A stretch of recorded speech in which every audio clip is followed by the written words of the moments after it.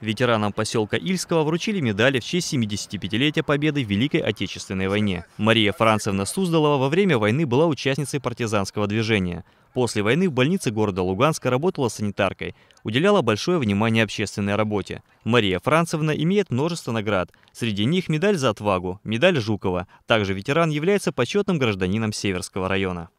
Огромное спасибо и за тот труд, который вы взяли на себя когда закончилась война, восстанавливали эту разруху.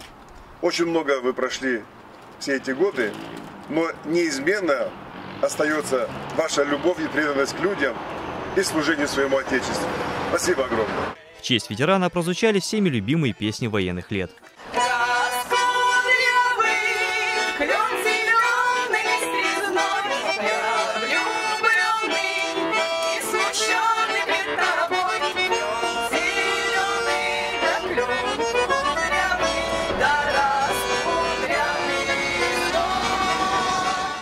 Юбилейную медаль вручили ветерану войны и труда Александре Петровне Бедненко. Во время войны Александра Петровна работала медсестрой, продолжила служить в госпитале и после войны.